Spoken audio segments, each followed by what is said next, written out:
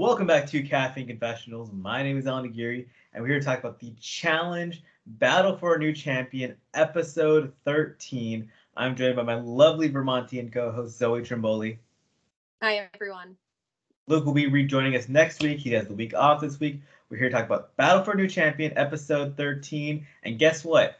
Four straight weeks. We've gone between years, and still nobody is getting eliminated from this show. It it's madness. It's just it's a constant loop. It's a Groundhog Day.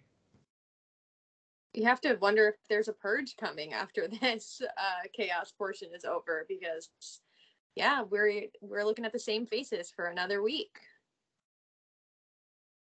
It's funny too because like we we the season did start with a small cast. There's 24 people. It's been much less than it has in previous seasons where we've had 34, 36 people. So the fact we're down to 16 at this point in the season it's not crazy when you have a season like Dirty 30 and Final Reckoning where they still had like 20 to 24 people at this point in the game. However, a lot of those people were a lot more charismatic than the 16 we have now. So it's a bit of a difference. Yeah, and there was so much going on in those seasons that nothing felt like a foregone conclusion. And the way that one alliance has been dominating this game so far, it feels like we kind of might know how things are going to go in the weeks to come. Um, so people might think that we've been kind of just twiddling our thumbs for the last few weeks, but I thought this was a great episode. Yeah, and it, it, it was a good episode. I agree with you um, because we're we are finally seeing the split in the house. It's not just total one on one like one side bullying. Obviously, one side still has control of the game, but we saw Kyland, Horacio, Ravyn, Zara really come together and form their little anti you know alliance group. They're trying to get all the underdogs together, try and make some moves. And it's actually been a while since we've seen this in a season. We've seen people get thrown in over and over again, but we haven't really seen like create a coalition and actually fight back, which is it, it's a breath of fresh air. Yeah, I loved seeing them not only come together as like a strong core group, but start to rally some of the other people on the outside who are blind if they're not re- ready to jump ship right now. Colleen is one of those people. We saw her all throughout the episode. We got a lot of Colleen this episode. Uh, we saw James get talked to, and it's interesting how everyone's games intertwined in different ways. And someone like Nurys, where she cares a lot about Horacio, she cares a lot about Kyland, but she's been running with the Power Alliance this entire game and has been one of their most one of the most important parts of that alliance. Yeah, I, I she did say that she and Jay have been friends for, for five years. Um, condolences to her, but I think that she is in the most challenging position in the house at this point by far. Colleen seems to know what she should do, but is just okay being disrespected repeatedly. Um, and she has someone like Berna in her ear who is delusional. And I I don't understand listening to Berna. Like it's okay if you want to be friends with her, but you probably shouldn't listen to a word she says. Berna is chaotic and this is a complete tangent from what we're talking about, but uh, Olivia and Horacio have their own troubles in the house right now. Olivia is part of that major alliance. And you know, Olivia's kind of going off the deep end when she's going to Berna asking for reassurance at the beginning of this episode. Like, if that's the person you're like consoling to and venting to and trying to get like tell you that you're doing things right, that's just the wrong person to go to. So, as a girl, I think that she went to exactly the person she knew would tell her exactly what she wanted to hear in that moment. Because I, you have friends who are like, people that you will go to for advice who are going to give you good advice, but not, maybe not the advice or perspective you want to hear. And then you have friends who are just going to be like your hype man and tell you you're right. And especially considering where Berna falls in the dynamics of this house and who she's aligned with and who she idolizes, she, Olivia knew exactly what she was getting by having that conversation with Berna, and she just wanted to feel better about it.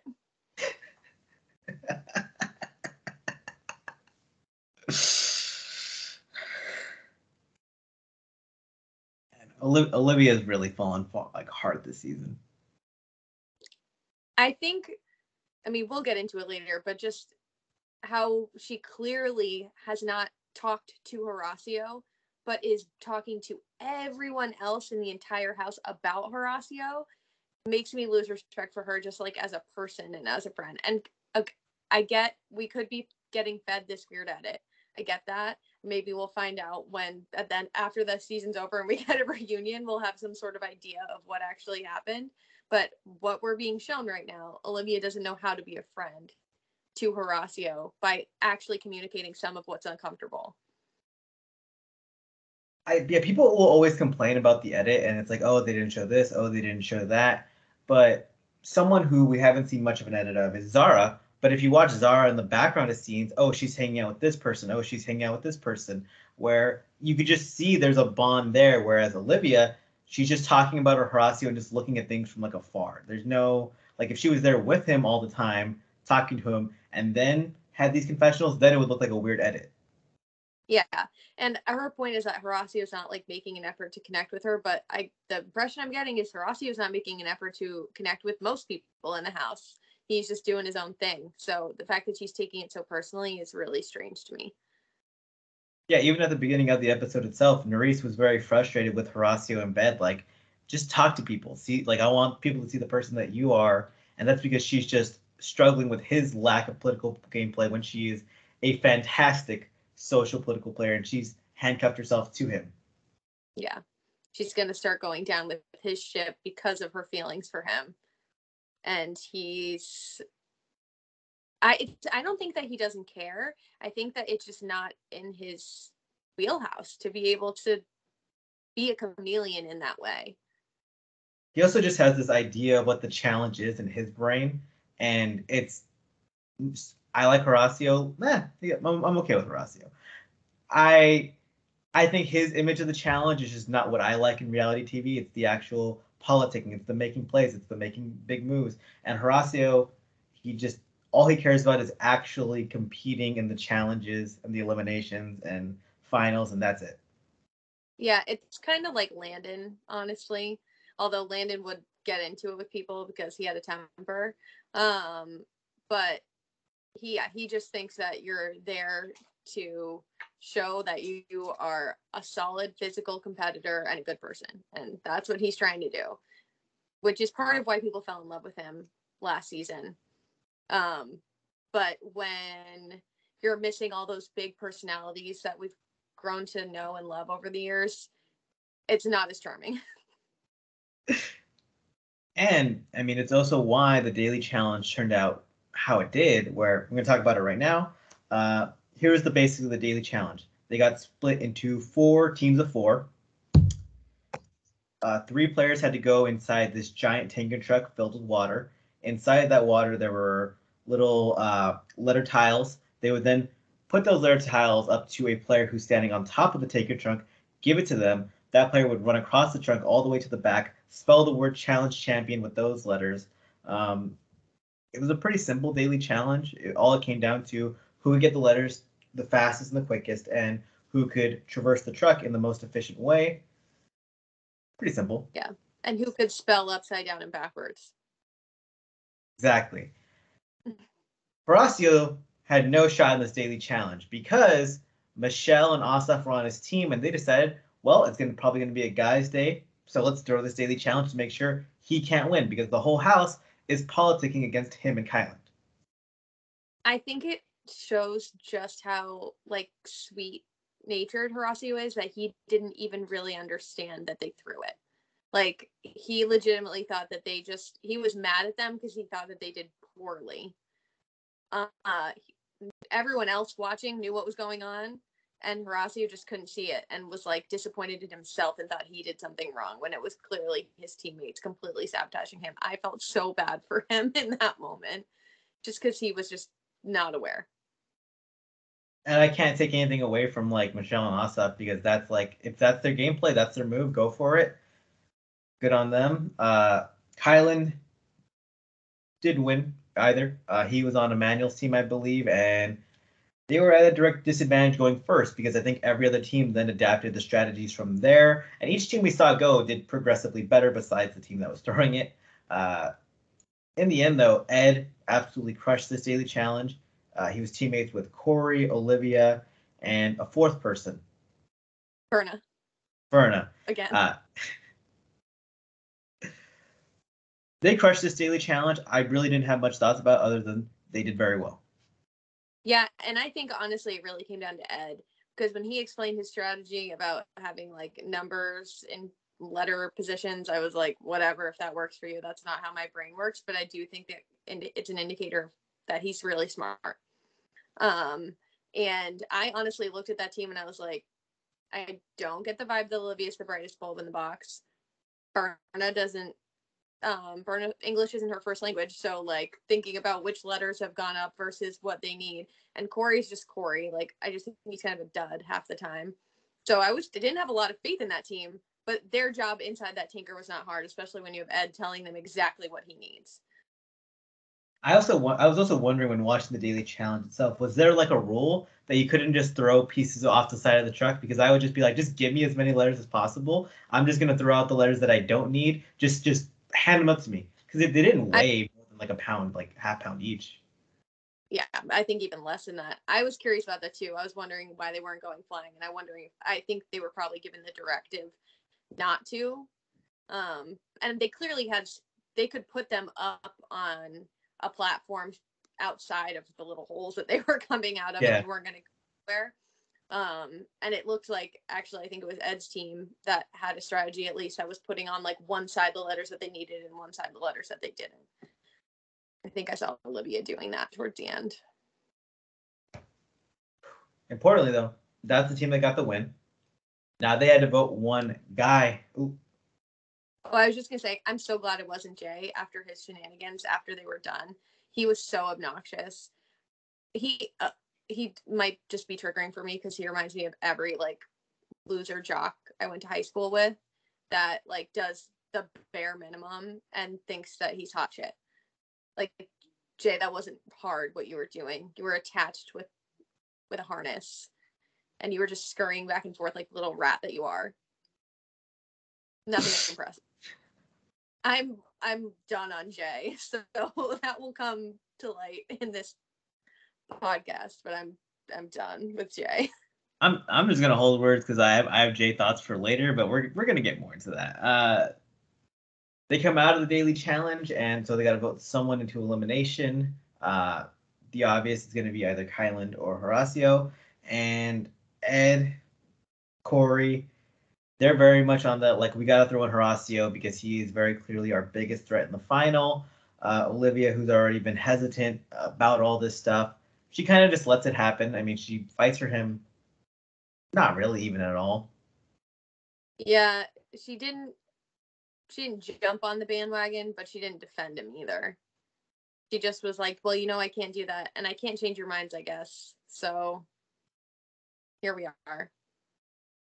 It is a sketchy moment to me because it's so easy to just be like, all right, let's throw in Kyland because Olivia doesn't owe much to Kyland. And then from there, you just let the House vote decide Horacio because that's what everyone wants anyway. That's what I was hoping that she was going to do. But like, hey, I don't want to be part of the people that are responsible for sending her Horacio in, and we're not going to be able to vote for the House vote. So it would make me feel a lot more comfortable if we all said Kyland and that way I, I don't have to be part of Horacio going in. That would that would have been so easy for her to say. Though I will say, now that I think about it and I take a step back, Nurys is more of the question mark here because even though Nurys does hold Kyland in high regard and is like very loyal to him, the difference between if she was fighting in a house vote for Kyland versus fighting in a house vote for Horacio, where she would have been politicking to every single person in the house, that's also kind of a big difference as well. Yeah, and maybe that's something that was left on the cutting room floor that they wanted to take that decision out of uh, uh, hands, which makes sense. The reaction, though, to Horacio getting voted in was, I think, interesting. Where uh, Kyland, he just loves to be a little pot stir in these moments where he just goes, "Huh, all right, scared move," and it just and Corey just blows up and says, "I did the bravest thing in the entire house." Um, that the term "brave" is really interesting there, I and I think it's hilarious that people don't ever see what Kyland's doing. They like always take his bait, no matter what. He always has a little smirk too, where he's waiting. He's just you can see it in him, where he's waiting to see them blow up and react to what he's just said. Like he's detached his soul from his comment immediately, and now he's watching as a fan of the moment. Yeah, it's it's a really interesting dynamic. It he knows, I think, intellectually that it's not a scared move politically, but it absolutely is a scared move, which they openly said. They're they are scared of him in a final and they don't want to run against him in a final. And Kyland has watched enough of these seasons to know that you do want to get the really good people out before final. We don't need to be honorable and running against the best of the best. Like it, the the mission is to win. And if you want to run against like James and Berna and whoever, that is your prerogative and that's a smart move. It, it is a smart move to vote in Horacio. It just it's uh, it undeniably is, but Corey calling it the bravest move. It's just the word brave, wrong choice, hilarious moment. And I I talked about we talked about Ravyn a few weeks earlier. It's always great when people just don't roll over to someone getting voted in and there's actually like a reaction, there's fun and there's drama. And now that we have these two sides of the house and the alliances, like I like them getting chippy. Me too. It's about damn time. It's we, we got a real season here going finally. It's like it's a it's like 13 episodes. We got a real season here. As everyone started repeating almost every minute after this went down. Well, the game started. The game started. I think at least seven different cast members said that, and Jay might have said it 70 times himself, but the game has started. Okay, so coming out of the daily challenge, obviously, um, there's the reaction to Olivia letting Horacio kind of just be the house vote into elimination. Uh, Olivia is trying to get affirmation from people that like, oh, um, there's nothing you could have done. There's, you know, he's the one not talking to me. What should I do? And then Horacio is like, well, Olivia did let me go into elimination. I should probably go talk to her at some point in the night, see where we are. Um, and it, and it just things blow up in like really weird ways where Nurys takes this as her moment to go after Jay. Jay's trying to get in Olivia's ear. It's I don't know it was it was a fascinating. I think that's why that's why Nurys did go after Jay. Jay was being really slimy in this whole club scenario, like getting in Olivia's head, telling her that Horacio's not her friend. Even like I think he said to Nurys at one point that like he doesn't care about her and would like he, he wouldn't change the way he plays this game to support the way Nurys is playing this game.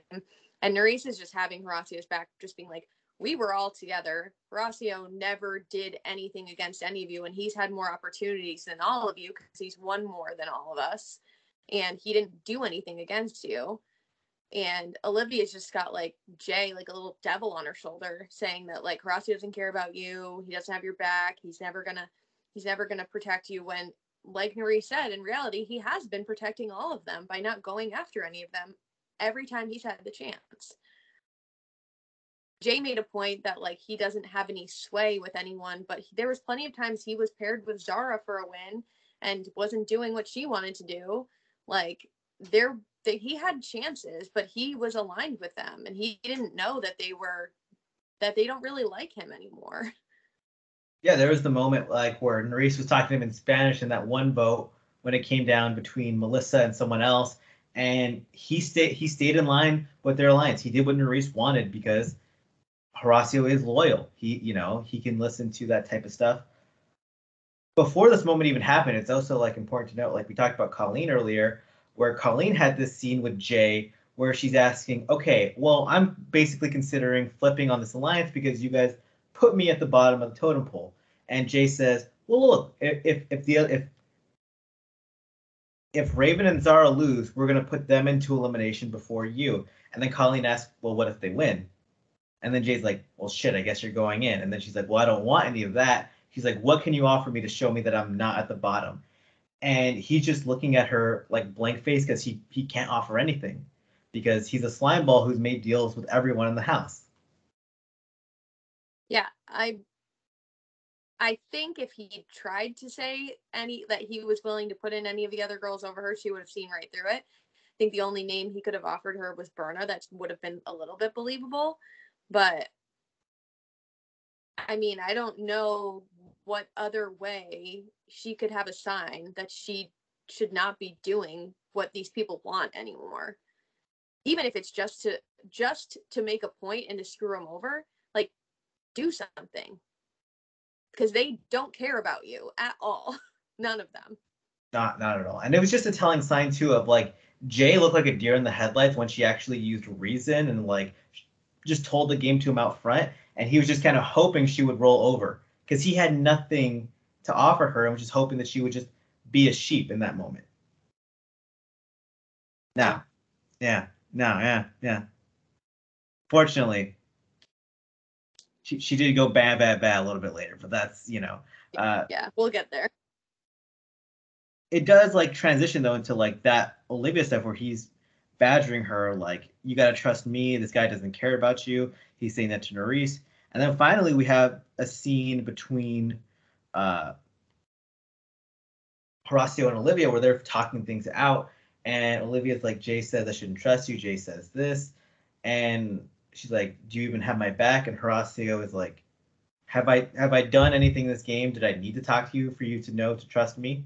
Like because my actions just speak louder than words." And that's the difference between Horacio and Jay. Whereas Jay is literally talking to a person like Colleen, trying to promise her like the world when he has nothing to offer her. Whereas Horacio doesn't need to say anything for there to be trust. He doesn't need that re- like the constant talking.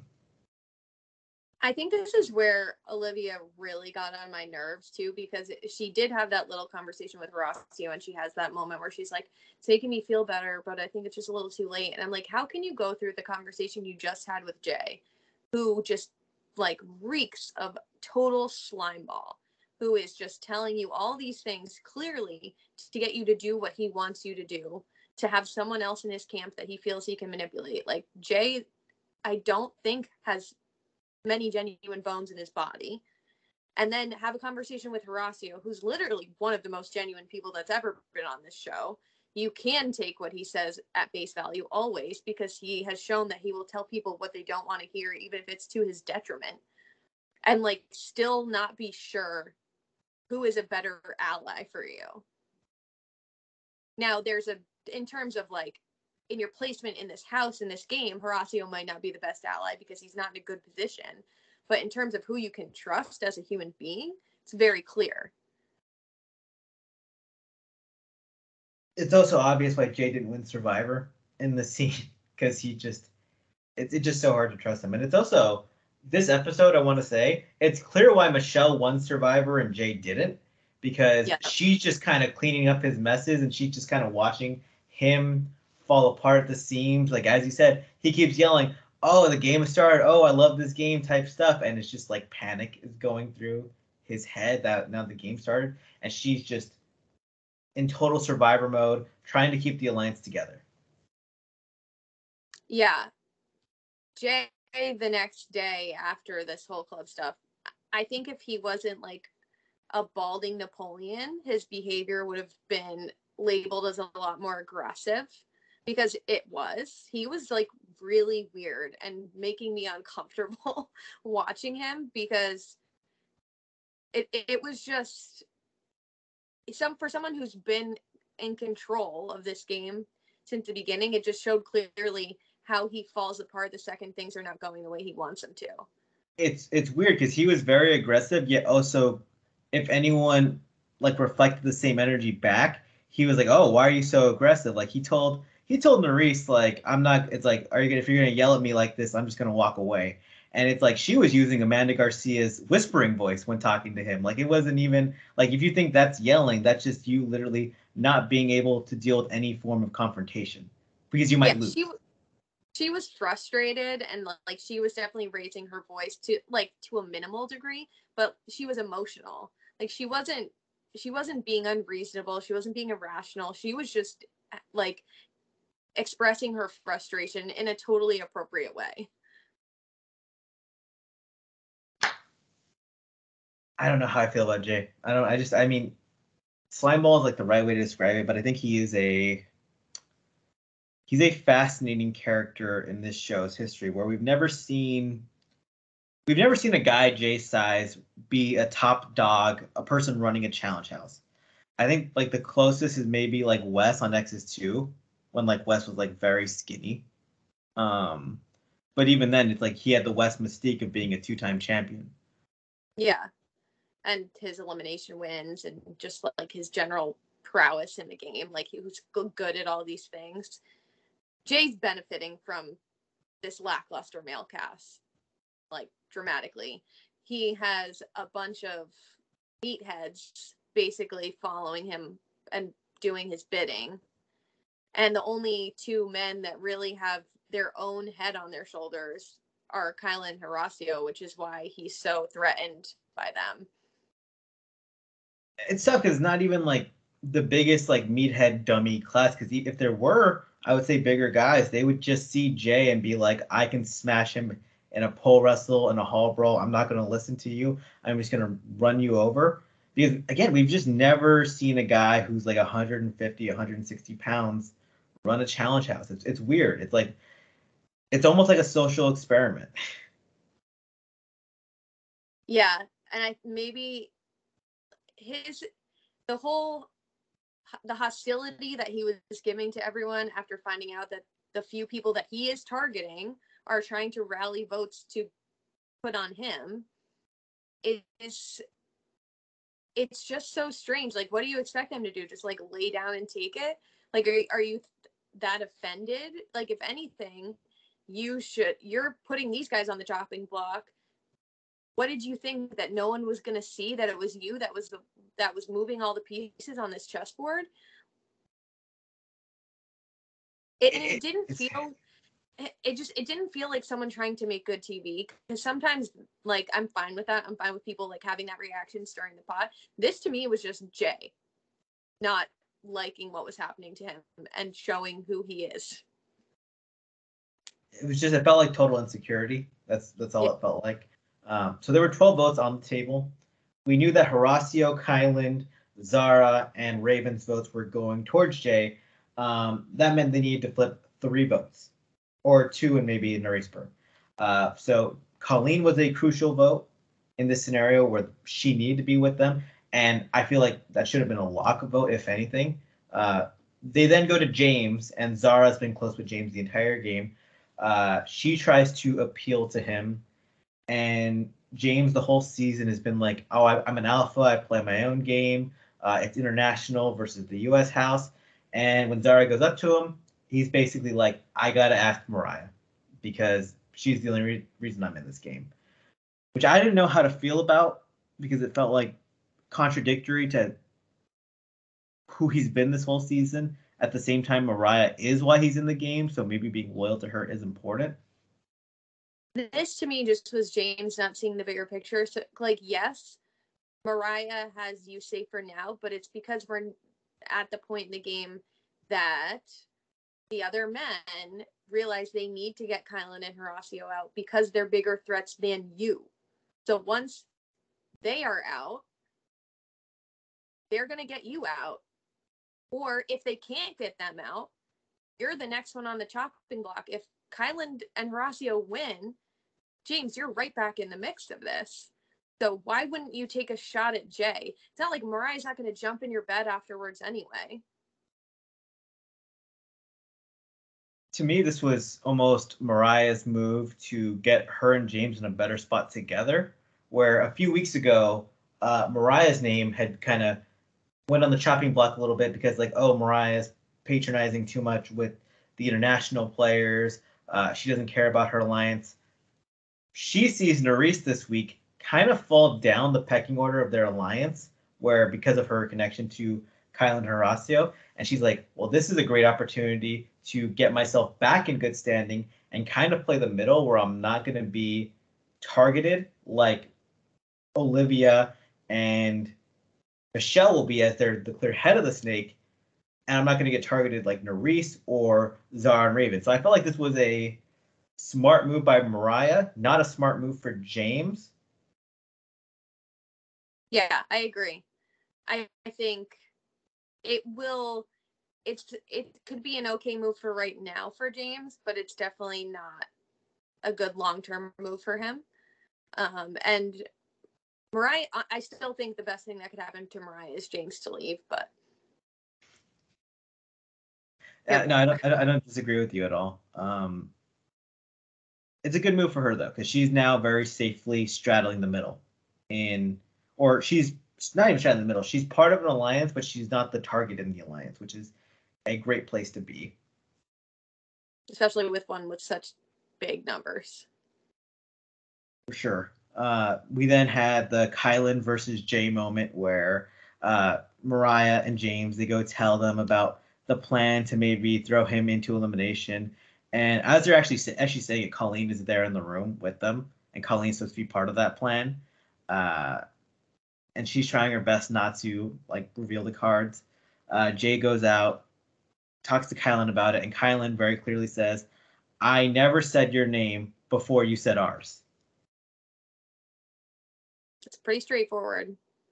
To which Jay flips his lid basically and accuses Kyland of being an asshole and like all the other guys of being weak and him being able to tell people what to do and which clearly isn't the case because if that was the case his name wouldn't be the one that's on the chopping block right now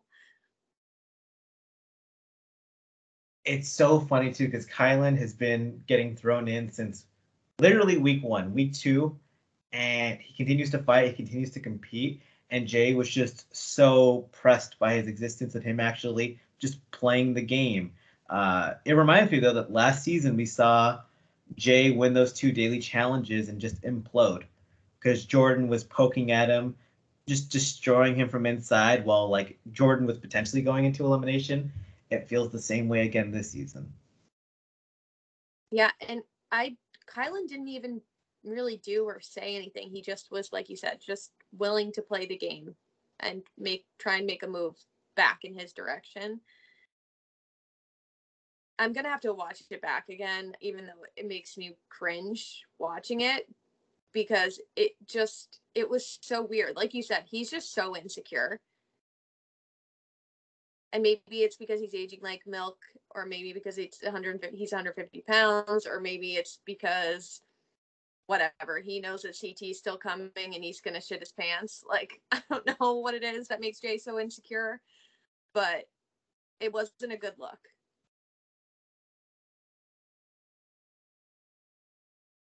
Did jay remind you of wes at all? Like in like because I, I think of like not even good, not even like the best West, like Wes when he's on a season like Fresh Meat 2 and he feels desperate and he's kind of spiraling and he knows his opportunity to win is like closing in on him. Yeah, the like chaotic Wes and Ev theatrics of that season. He was definitely giving me like bad villain vibes during this episode, which I could see that. I think because now with enough time, I see Wes as such a solid competitor. So even though he had those weird unhinged moments where he was had his back up against the wall and was lashing out in weird ways, like I don't see Wes as that person anymore. But in that season, in those moments, yeah, it definitely gives those vibes. Because Wes definitely had those like that stretch of seasons before he uh, won Rivals two, where he was just kind of like desperate in the way he played yeah. the game. Like he was always very much a beat my chest type guy while being very insecure. Yeah. Well, I mean, even you think back to the whole him pouring soda on Cara Maria, and I know that she was asking for it like literally um in that in that season, but it was mean spirited and like nasty and and it just didn't make you like him. And that's jay right now. And it's it's especially weird because of the position jay has in this house. If you guys are tired of us talking about Jay, sorry, we're gonna have to talk about him more right now. Because after this we had another Jay scene where it's him and Nurys uh, talking about what the game move is going to be, and I love this scene because his brain is melting as she's saying, "Well." You're my number one. Kyland's also a number one for me. I promise I wasn't going to say either of your guys' names. I'm in a tough situation. If I burn vote, then he just goes in. And look, just the concept that his name is even potentially on the table or he's not going to do, she's not to do Jay's bidding was just eating him up inside.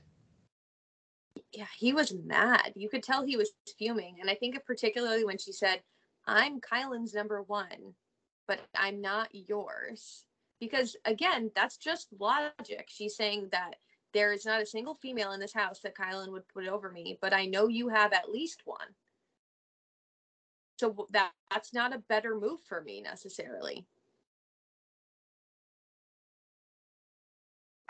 Kyland, man, and not Kyland. Jay is just he gets beat by logic so hard he just doesn't know what to do with it. He just like you you it sucks when you get dealt the hand that you've been playing. Uh there's no really way to way to describe it. I will say though, uh Nurys is kind of throwing away a very secure spot in this game for Kyland Horacio. And part because because she was a key part of that alliance. At one point she said, I've been a pawn in this alliance, and I completely disagree with that. I don't think you've been the queen. I think that's been Michele. I think Michele and Jay have been running stuff. But Nurys has been like a, like a rook or a bishop. She's been crucial to them in this game. I just don't think she, I think I think the, the there's part of Nurys who loves reality TV and just doesn't like what their alliance is. Just doesn't like the vibes and just knows that like maybe even stirring the pot isn't the best for her game, but it's maybe the better TV move.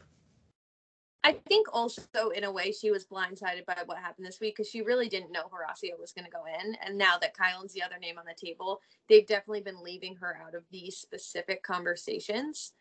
So I think that this this feels like a 180 to her on her two guys and where the other girls have a say over protecting their one or two guys she's not she's realizing oh well what i want is not as important to these people as them wanting to get out these two guys that are important to me but the problem is is the guys aren't as threatened by james and the other guys because and Jay is in control. So even if the other guys are threatened by Jay, which I can see him being a big threat in a final, but in a lot of things he's not. He's just not going to be in as vulnerable vulnerable as a position of a position. And she's got two guys that are like borderline social pariahs, but also huge physical threats. She's playing emotionally she's playing strategically and she's playing for TV and she's trying to balance all three at the same time. You know who Nurys kind of reminds me of right now? It's someone you like a lot. Nany? Nurys on this season reminds me a lot of Kailah on Dirty 30, where she's hitting this breaking point where Kailah was in an alliance with Cara, Maria, and Camila. Uh, the vibes were off. Competitively, it wasn't good to have them in the game. And so Kailah made a move that was better for her game, but also was going to put her on the map reality TV wise when she purged Cara. And that is what completely sent her on an upward trajectory in this like reality TV world. Like just skyrocketed her. Nurys is in a place right now where she can make some moves. Like Horacio is her little uh, that's that that's her Barbie beast. That's her Jenna, where she's playing emotionally with him and maybe she could shake the table, maybe she could move stuff, and like betraying that alliance, that that Fantastic Four she came in with, that would be a big move that could just skyrocket her like up the list. Yeah, I, I totally see it. I think, I think what they have in common too is they're just like real people who, when they have a real feeling about something, are going to react to it.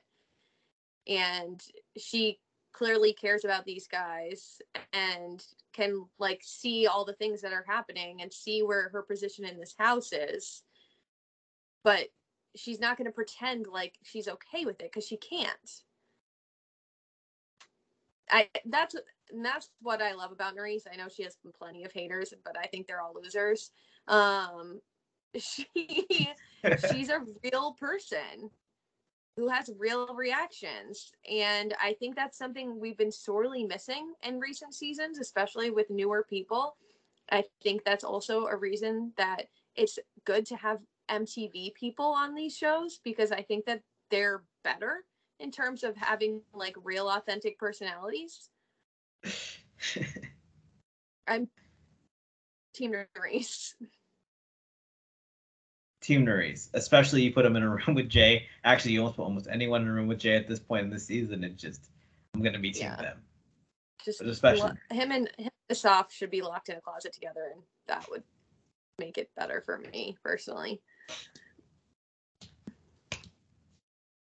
We then get to the deliberation, the vote in. Um, the four votes from Horacio, Kyland, Ravyn, Zara. They go to Jay. Um, they say a thing. Someone says like, "Oh, well, I guess it's clear that Ravyn is on the other side now." No shit, dumbass. Like, could you not see from like the earlier scenes going on, like just interactions in the house? Yeah, and also she's been your punching bag. Like, this is like you can't be mad at her for this. You've all openly said in this episode over and over again that she is the only one that's getting voted in over Colleen. Like, what's the girl supposed to do?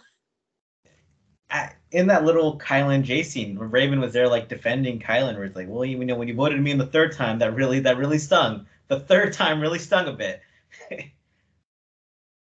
the vote gets to the vote gets to Nurys, and if I was Nurys, I would have like found a way to wander to the end of the line to make sure I was the last vote.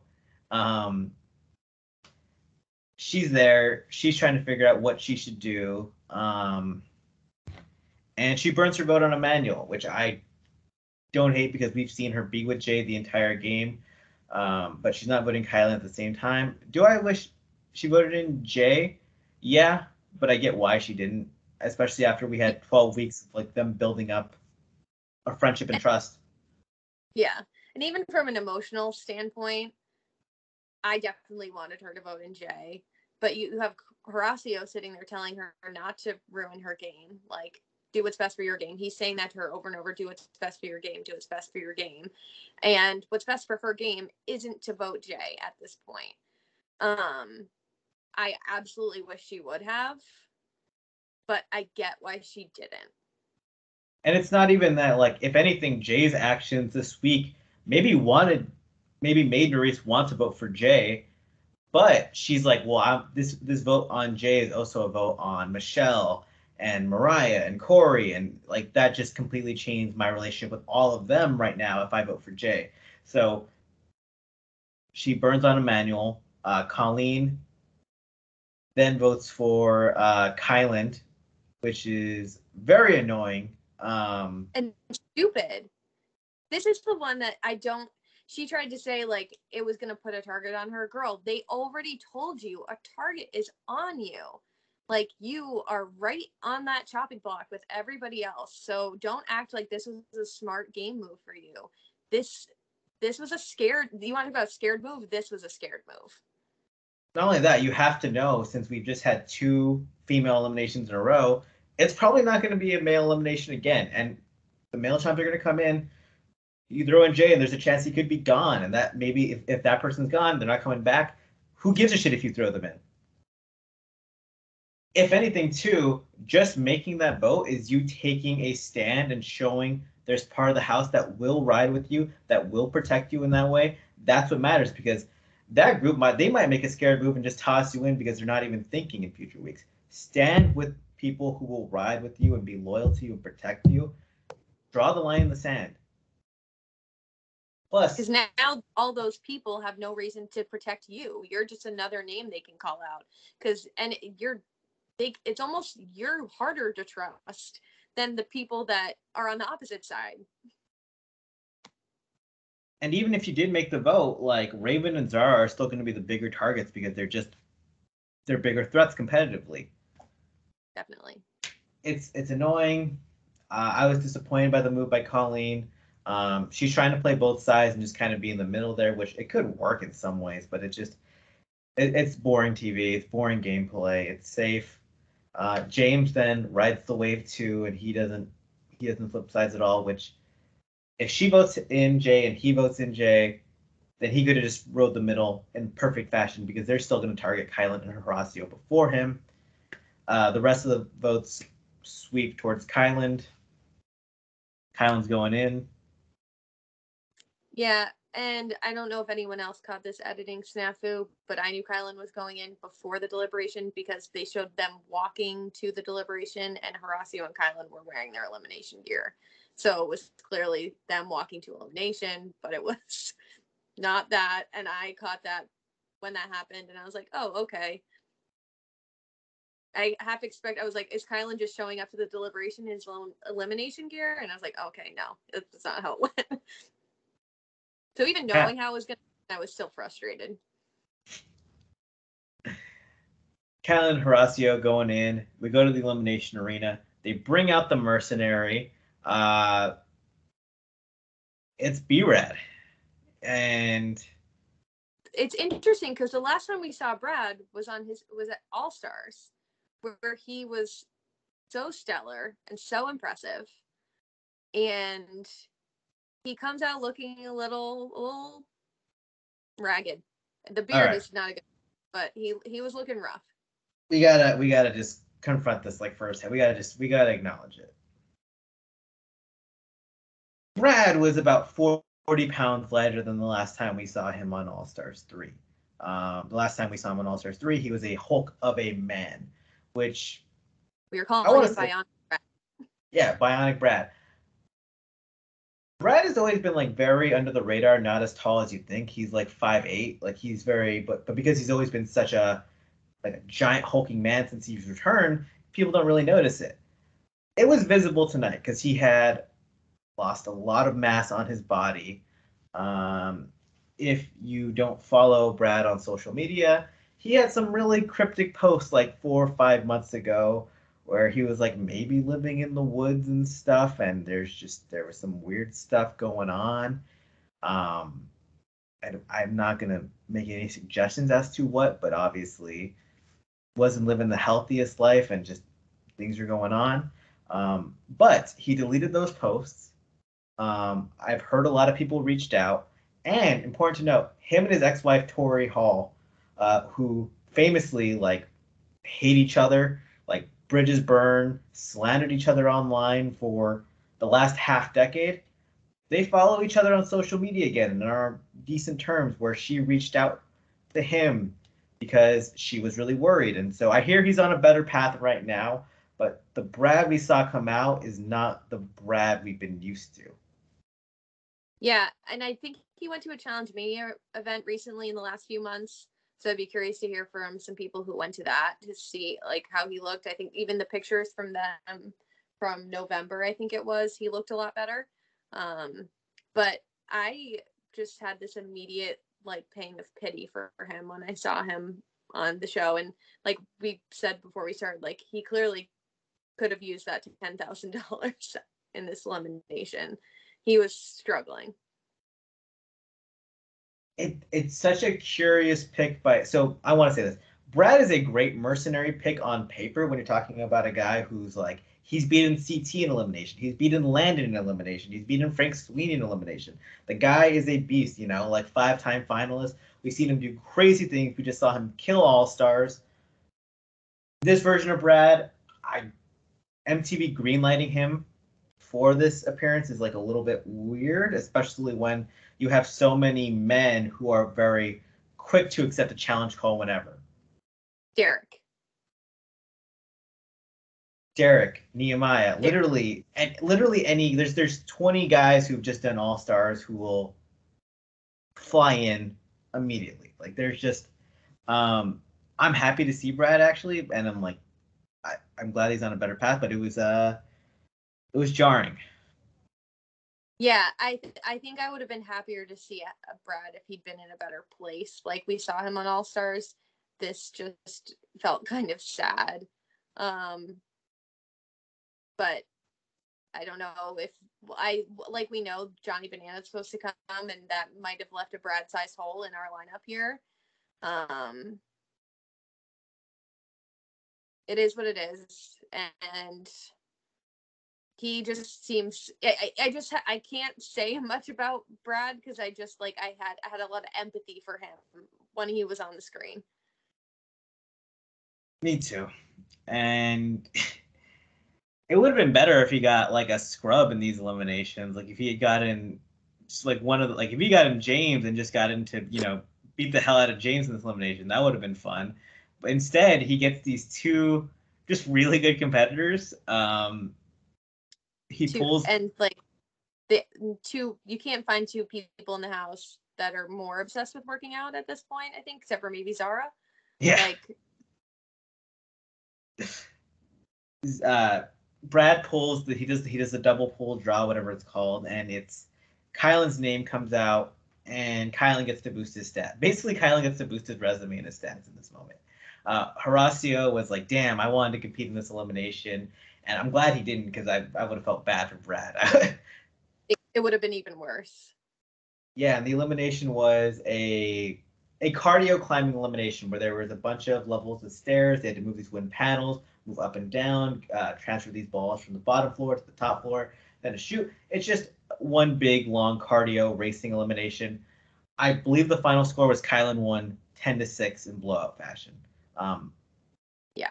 It was it's like the idea of lapping someone in an elimination like this is like it that's even just getting one or two full uh laps ahead of someone on this elimination is a lot, and Kyland did more than that, which I think just shows Brad like very sweetly says like I'm not in my best shape. I'm not having working out as much as I had at one point, which was very clear. Um, I think that Kyland presents more as even like a brawny person than like a cardio fiend, and he just crushed him. It's jarring too because I mean we did see like Brad on All Stars 3, like sprinting through mud pits, like just being one of the quickest. He's, he's a quick, agile guy historically. And Kyland just wiped the floor with him. And it was tough to see. And the crowd immediately was like, oh, Brad's getting his ass kicked. They were just because they, cause yeah. they want Kyland out of the house. And it's just like, it's over. Like within like 10 seconds, they're like, it's over. This guy, it's, it, Brad's not even close. Yeah. I mean, part of it too is like age. Even if Brad, I think, is still in his best shape, I think it's tougher for a guy around 40 to be in an elimination like this, no matter what kind of great shape you're in against like peak physical condition, someone 30 versus 40, it's different. But yeah, Kyland wins. I'm happy for him. Great. His stats are just looking really good at this point. it's it, like his elimination with Darrell technically wasn't close either because he won by like two extra uh, beams or whatever their game was doing. So he's not only beaten Darrell and Brad, he's done it by a decent margin. Um, if you're the rest of the house, you just got to be intimidated by this guy being so good.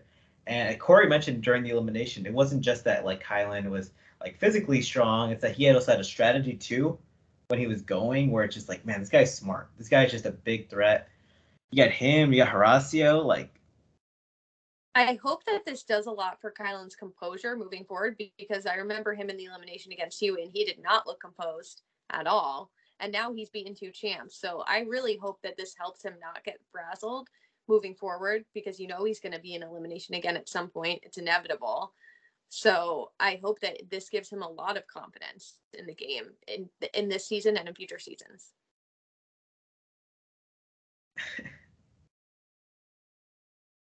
God, nobody's fucking gone from this house. 16 people still. Um, it is interesting to think about like what would some of these eliminations have been if Horacio and Kyland had gone head to head against each other, because that would have been a very good elimination. I mean,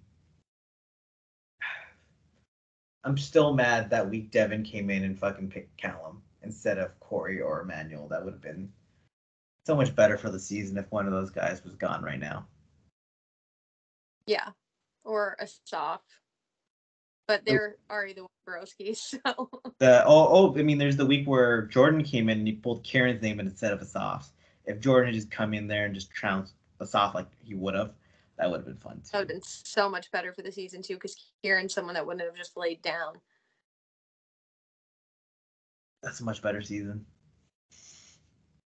Not that it's been bad. We've all agreed it's been good, but it would be cool for the guys on the opposite side of this alliance to have some more like depth.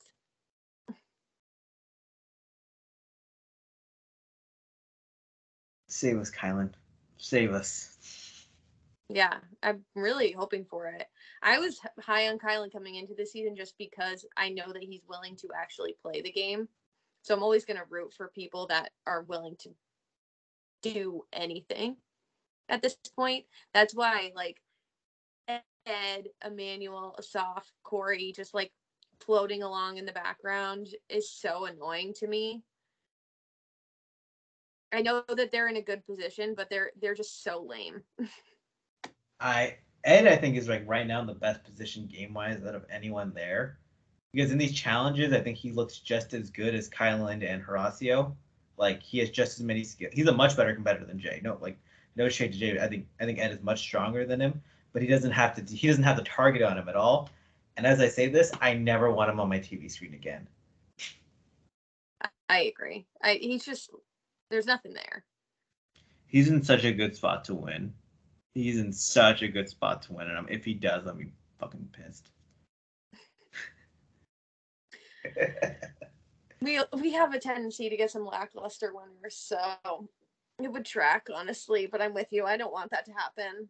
There's too many people that would actually be something good for the challenge moving forward that Ed winning would feel so disappointing. The good news is CT is coming in next week. Um, freshly divorced. Um, so uh, someone is gonna get their ass kicked. There's no way. There's no way we go five straight weeks with no one getting eliminated. So everyone, like, we're gonna get our most viewers of the season next week. CT is gonna come kick some weak guy's ass.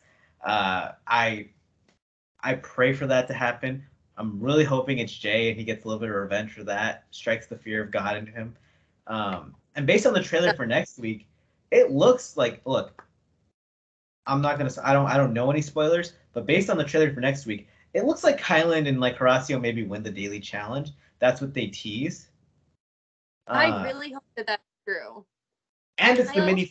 It's a mini final next week. It's a mini final. Whoever gets James, you're fucked. Everyone else has a chance. Oh my god.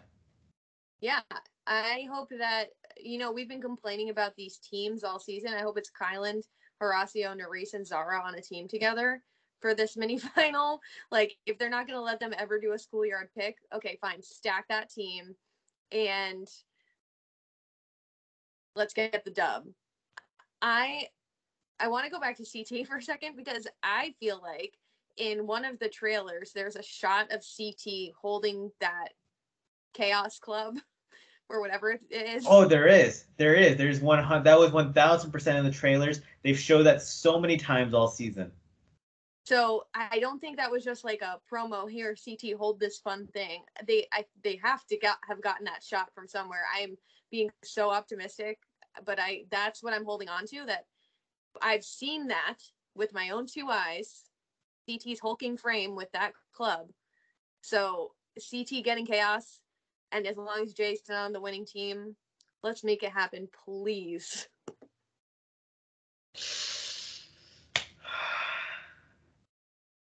Imagine they give CT a headbanger. They're not gonna do that. They're gonna give him something, you know, something cool that CT will kick someone's ass in.